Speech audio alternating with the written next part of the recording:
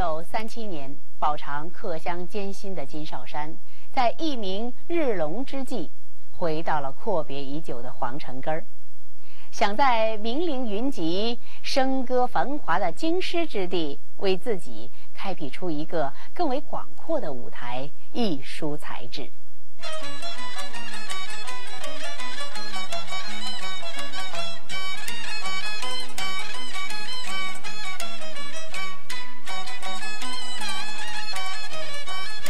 这三位大家啊，在二三十年代的时候，鼎力三分。他们三位啊，都比较全面。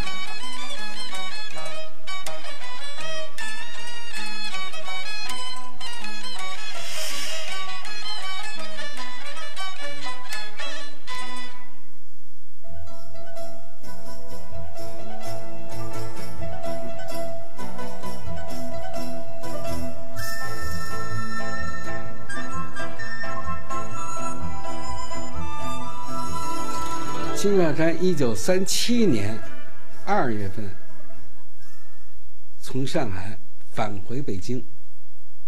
说金少山到了这个北京之后，前门火车站下车，那几乎北京的梨园界的名流全到，尚小云呐、谭小培啊，这这这这些梨园行的名伶全到了。金少山先生来到北京，我们奉了这个梨园工会的。委派打着旗子到北京前门车站去接他。那阵都嚷嚷动了，都知道金少山是金金霸王，金嗓子，黄钟大吕，威威震上海，而且嗓音呢特别洪亮。传说的都挺好，我们没有见过。这次来嘛，正好。一时间，金少山回京搭台，成为梨园行内行外奔走传说的话题。人们以高度的热情关注着这位红透江南半边天的金霸王。记者的宣传也很多。到了以后，他先不唱戏，他迟迟的不确定在哪儿唱戏，也不确定什么时候唱。啊，这就是金少山。在经过几年江湖闯练，他有经验的地方，这个角儿是越憋越红的，啊，这这这个他不用不用动员记者们吵，那小报记者们就自然自然而然就吵开开始吵了，整天在吵金霸王今天到哪儿去了，到哪儿去买鼻烟了，啊，到哪儿去是是买鸟了，呃，金霸王家里养着什么狗，啊，一天到晚他今天到哪儿去吃饭了，就就就就这些新闻就天天追着他，那就越吵越热，啊，越吵。他这样闷了这么一段时间之后，当当这个整个北京城的这个这个金少山什么什么时候唱要唱什么戏，已经成为一个公众的焦点的时候，他出手了。此时的北京梨园行，由于铜锤人才的匮乏，进行风骚已被架子花独占。郝寿臣、侯喜瑞并时屈驾。领袖京剧花脸行当盛名十余年。令人惊讶的是，金少山选定的三天打炮戏，头天上演的居然就是郝寿臣和侯喜瑞都擅演的连环套。头一天就是连环套。这个窦尔敦，这除了侯就是好，除了好就是侯。你这个金少山贴这个连环套，是不是有点班门弄斧？啊这出戏呢，应当是架子花脸演的。说连环套，大家都知道是郝寿臣的那拿手戏。他在北京打炮嘛，就是在这个华乐啊，也就是后来啊新中国时期的大众剧场。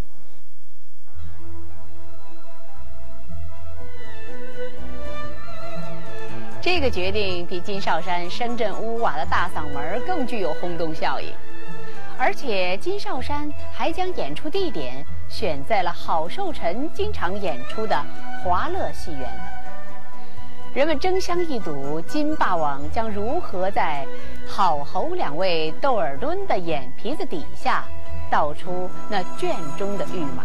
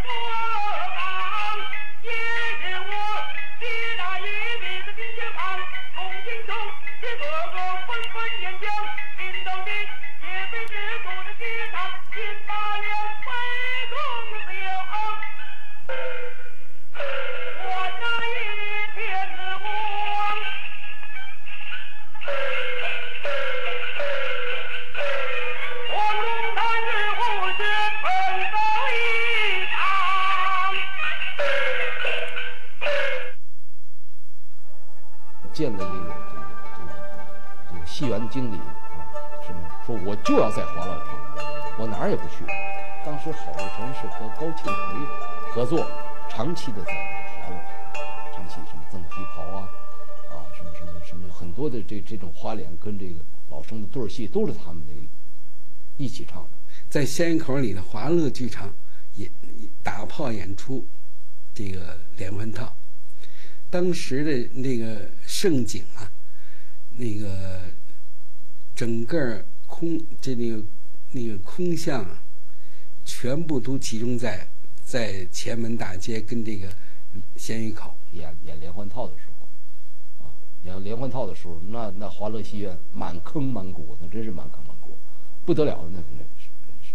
那个时候，这个人呢都是咱们梨园界的很多。包括这个，不在北京。包除了梅先生之外，那些什么余叔岩、什么燕、什么熊卫生这些名家，全都到场去看戏。这个金霸王呢，真是满江湖的，啊，最后他还还有要求，啊，他说我就用郝世臣的班底。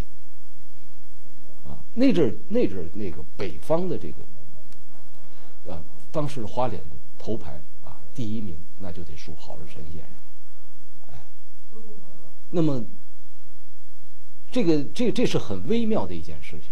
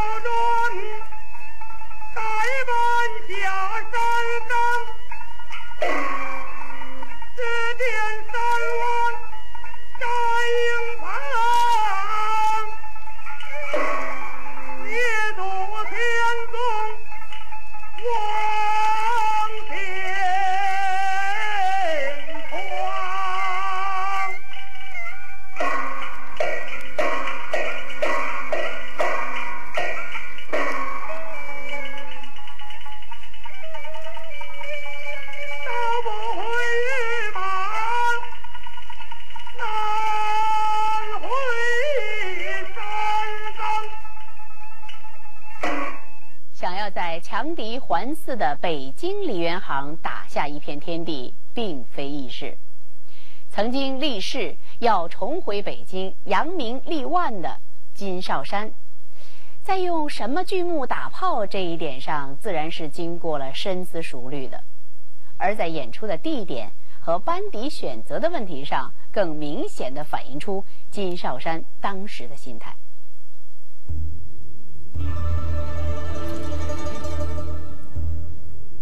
我想金少山很可能是知道这个背景，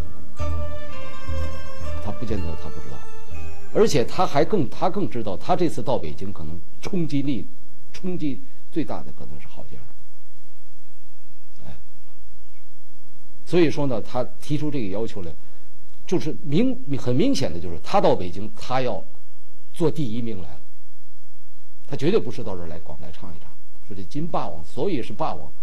他就是霸王的，是吧？他要唱，他要做第一名。这个演员做第一名是没有，在艺术上要没有没有这样的雄心大志，是吧？这个这个这一这应该是应该肯定的一件事情。艺术上也是在竞争嘛。对于金少山的这一惊人之举，北京梨园行相关重要人物有着不同的反应。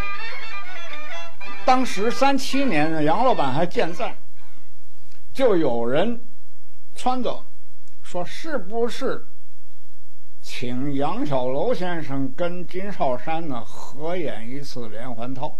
第一次唱这个连环套道具马，他本来想约杨小楼，还捧他一下，合作一下。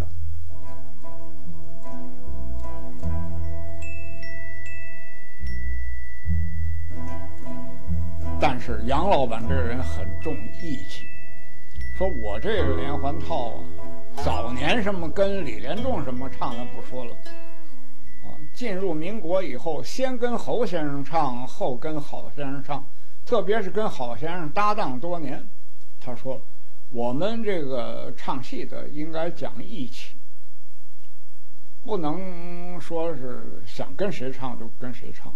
谢谢金三爷，我。我不跟他唱，因为我要是唱了，我对不住那二位，特别是对不住郝先生，所以这个终于没有实现。后来杨小楼考虑了再三，他说这个事情不好，为什么呢？他来打炮，我跟他唱，我不能不卖力气，是吧？我要卖力气，比如我这我这个好啊，超过了他，对他不利。我现在这么大年纪了。哎，他如果唱得好，把我压倒了，对我也不利。说说两个人最好不要唱。哎，但是头一天打炮戏唱的时候呢，他坐在这个台下，这捧场叫好。另外让别人陪他唱，周瑞安什么陪他唱。身为武生宗师的杨小楼，尚能拖延婉拒，以局外人的姿态冷眼旁观。真正无法回避这一局面的。是整个北京城的花脸行，而同行们的评价与立场也必将影响到金少山日后的处境。你要第一次唱戏吧，所有的花脸，除了郝寿成，因为年纪的关系，哎，所有的花花脸全都到这华乐园去捧场。侯锡瑞很早就去了，侯锡瑞因为他们师兄弟啊，说很早都都去捧场去。据我知道，侯先生当天，郝先生去没去，我不太我不太清楚啊。侯先生当天是在场，坐在这儿是从头看到尾。郝寿成郝先生也到现场，但他没有声张。那么华乐的经理呢，就是万子和先生，也是北京很著名的一个今日科啊。后来万先生呢跟我回忆，就是在开戏以后，万先生在二楼，华乐的二楼有两根柱子，就两边的楼梯有两根柱子，呃，万先生站这这边这个楼梯，郝先生站那边。这个万先生说我，哎，我往那边一看，郝世臣先生郝先生戴一口罩，啊，也是不乐意叫人发现啊，这个这个这个这个，呃，引引别人注意，要好好看一看。哎，他说两个人互相看一看，啊，两个柱子那看一看，啊，嗯，当然了，他就看到看到中途，啊，就走了。侯先生一直没有表态。唱到了倒钩，金少山有几句散的：“多饮几杯精神爽，莫非酒内有埋藏。”唱这个“莫非酒内有埋藏”的这一句，侯先生鼓掌，服了。我想郝先生可能也是也也想看一看多年不见的金少山，啊，在南方炒得那么红，到底怎么样？他也要看一看。而何况贴这出戏又是他的拿手戏。侯先生后来就跟人说，说金三爷有两下子，真是有两下子。这莫非酒内有埋有埋藏这一句，如果又没腔儿，就是一个一个收尾的一句散的，要没有底气，要唱不出情感来，唱不出这个窦尔敦，呃。发现这个酒里头有问题，嗯，腔也是普通腔，能唱出这个性格感情来，而且唱的是怎么说，这个神完气足。郝世先生很肯定金少山，我觉得郝先生是一个啊非常有这个艺术家的风度的啊这样这样的他一位大艺术家啊，所以他听到。这个在倒马的那个那个场面的时候，那个无线电里头放出来那个那个录音的现场现场的那个录音的时候，是吧？说郝世臣很先生很由衷的说，说这才是窦尔敦。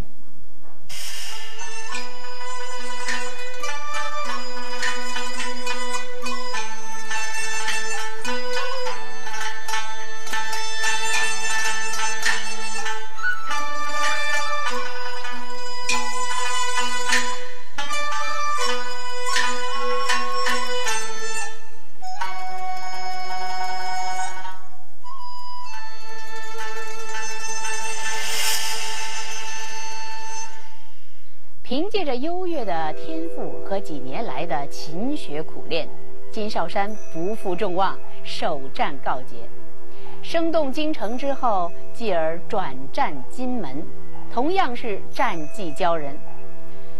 不断的在舞台上取得了轰动效应之后，金少山并未稍停，紧接着又抛出了一桩令人咋舌的新闻，他要打破。以前梨园行从无花脸挑班的历史，自主翻设。演出的盛况，大家就外面传说很多了，描写的也也很多了，也确实三天打炮轰动北京城。一出来这四句，这点将就得了四堂好，大伙儿都惊呆了。这出戏唱完了以后，大家伙儿都伸大拇哥，因为什么？没听见过这么好的嗓子，真是声震屋瓦，黄钟大吕。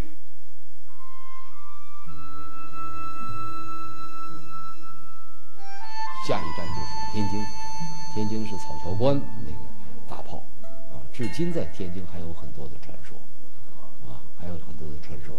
这金少山就还有在天津有个外号叫吓一跳，啊，他虽然嗓子嗓门很大，但是他也很很很会用的。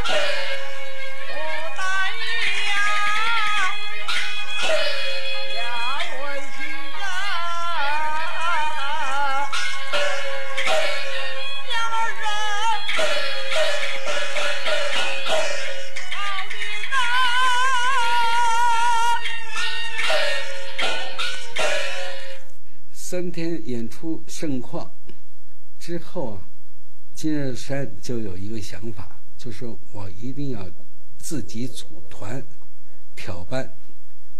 后来就成立了松竹松竹社。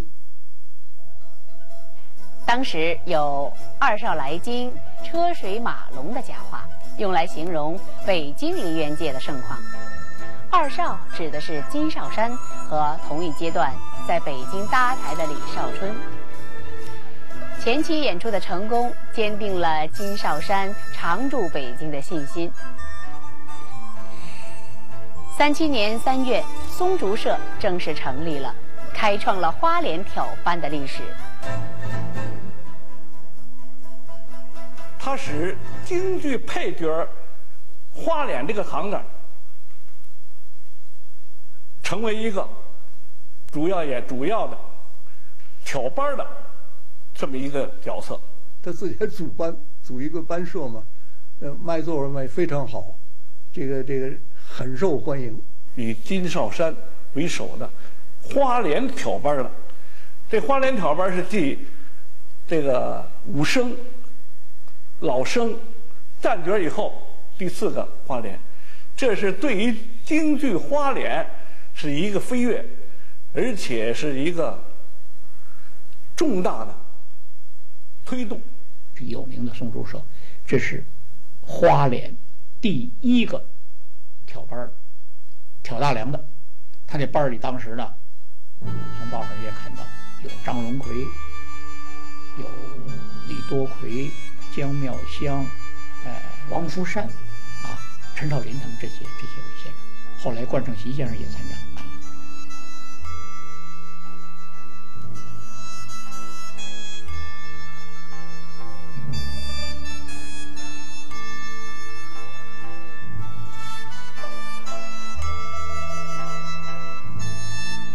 他这他这个班社非常长远一直到他故去的时候到了北京来了一下这组班也非常之红。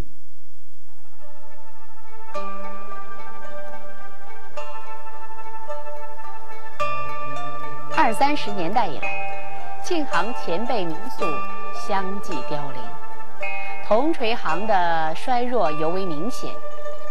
在金少山回到北京之前，硕果仅存的铜锤名家裘桂仙，已沦落为尚小云班中的关中底包。一般呢，只是唱唱开场戏了。那么，金少山究竟靠什么取得了这么大的成功呢？他的路还能走多远呢？请您关注我们节目的下一期。